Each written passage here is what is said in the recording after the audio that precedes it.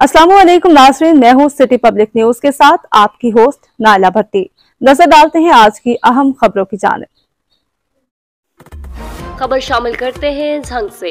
हमारे bureau chief Jhang Zeeshan हर सयाल की रिपोर्ट के मुताबिक, जिला झंग तहसील Ahmedpur, Sial union council Hasu Barel unit Akbarabad Sharif, Sunni Tehreek जर इंतज़ाम जश्न ईद मिलादुलनबी की आमद पर आठवीं सालाना अजीम शान इस्तकबालिया मिलाद की रैली निकाली गई, जिसका आगाज़ दरबार अकबराबाद शरीफ से किया गया, जो कि अपने मुकर्रा सबका रूट से होते हुए हसू बलेल सोलंग, रोडू सुल्तान, बस्ती गोसाबाद, झंडवाला, टिबा बस्ती और जम्मू वाला से होती हुई वापस दरबार अकबर अकबराबाद शरीफ पर अख्ताम पजीर हुई, जिसकी सदारत सरपरस्त सुन्नी तहरीक, झंग साहबजादा अज़ीज़ सुल्तान साहिब, जेर निगरानी और जेर एहतमाम साहबजादा पीर सैयद मोहम्मद जुलकरनैन शाह साहब, ज़िले सदर सुन्नी तहरीक जंग, मोहम्मद बहादुर खान,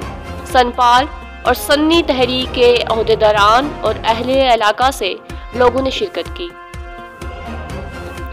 सिक्योरिटी के हवाले से अगर बात की जाए झंग पंजाब पुलिस एहलकारान की जानब से सिक्योरिटी के फुल प्रूफ इंतज़ाम किए गए। जुलूस के आखिर पर लंगर का वसी इंतज़ाम किया गया। जुलूस के अख्ताम पर पाकिस्तान और मुल्क हुकूम और पूरे आलम इस्लाम की सलामती के लिए दुआएँ मांगी गई।